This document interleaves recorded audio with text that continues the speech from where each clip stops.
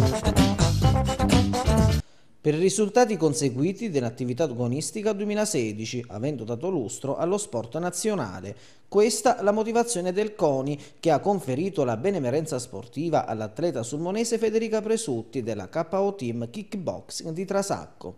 Per l'atleta allenata dal coach Maurizio Pollicelli, questo riconoscimento fa seguito alla medaglia d'oro conseguita lo scorso 23 gennaio alla Coppa Europa Golden Globe di Conegliano Veneto.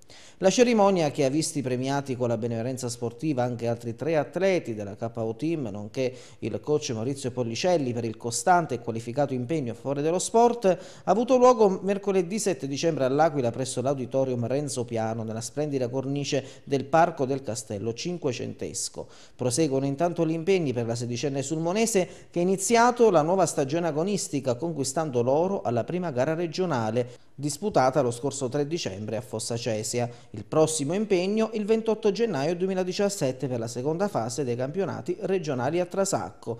A Federica Presutti i nostri complimenti.